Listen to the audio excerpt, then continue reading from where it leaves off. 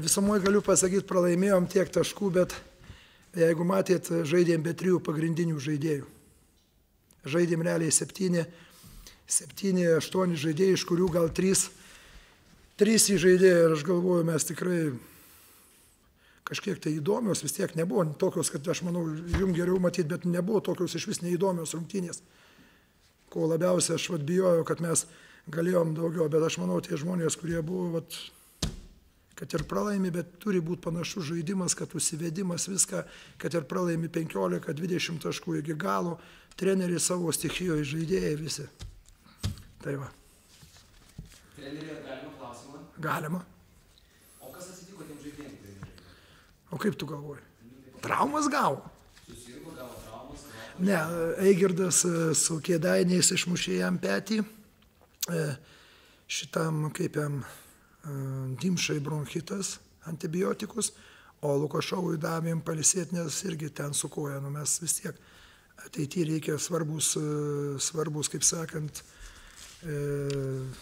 rungtynės svarbios laukia visokios ten po naujų metų, tai aš manau dabar pats tas laikas biškiai apsigydyti. Viskas.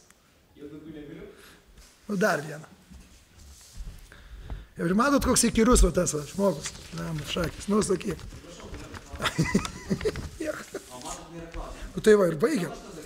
Nu sakyk. Treneri, aš tiek nusiteikti rum komandai prieš rungtynės, kuriuose, nu, faktiškai nelabai yra šansų sukovoti. Sudėtinga šiek tiek. Vat, vat tas ir yra dalykas, kad aš labai patenkintas, labai sunku nusiteikti tokiam rungtynėm, nes jau vis tiek visi suprato, kad tie aštuoni žmonės, kurie buvo dabar laimėti prie žalgerį, nu tai čia būtų ne fantastika, fantastika, fantastika. Iš fantastikos pasaulio iš vis. Bet vat kas keiščiausia, tie žmonės sužaidė. Ir tikrai, va, kurie žmonės, nu gerai, nu ten nesakysiu, gal vienas, antras žmogus, bet, nu tikrai, ateini per rungtynės reikia ir kažką, bet, nu, po rungtynių tik gali atsiprašyti, kad treneris kažkiek neteisus, gal kažką pasakė, nu šaunuoliai vyrai. Aš galvoju, man, man jau tik džiugu tai, kad mes turim komandą. Tai jau vis dėlto tai yra komanda, tai ne tai, kai buvo spalio, lapkričio vidury. Mes turim komandą. Gaila, kad tik tos traumos, bet žiūrėsim, gal penkt, penktą numerį kažkur reikės ieškoti, nes Dimšai daro operaciją 21 dieną. Ant mėnesio mes jo, jo neturėsim, tai žiūrėsim, kaip čia bus. Ką jūs turite galvoje, kad turite komandą?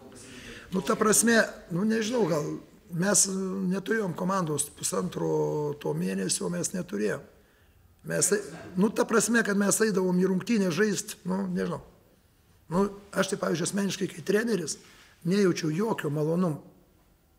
Išeini, nu, tam, kad išeit, pasižaisti.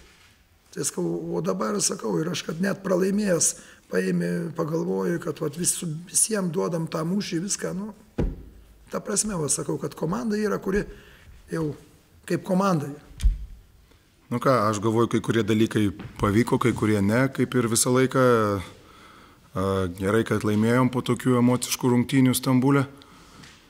Ir a, blogai, kad kai kurie žaidėjai, kurie turi naudotis šitas rungtynės, a, pasigerinti savo formą ir, ir aplamai geriau jaustis paprasčiausiai po tokių rungtynių, jie galbūt važiuoja namo jausdamiesi blogiau. Tai toks ir negatyvas, a, sakysim.